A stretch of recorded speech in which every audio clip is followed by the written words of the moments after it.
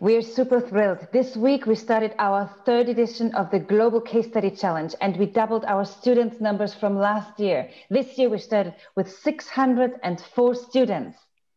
Amazing. 604 students from 13 countries across the globe. We have Latin America, we have Europe, and we have Asia. It's absolutely fantastic.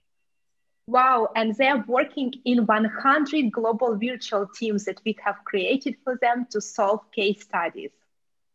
We also have 22 universities, we have 27 professors, and on top of that, we have a small group of international educators, nine educators who are joining the educator certification track. That's really fantastic.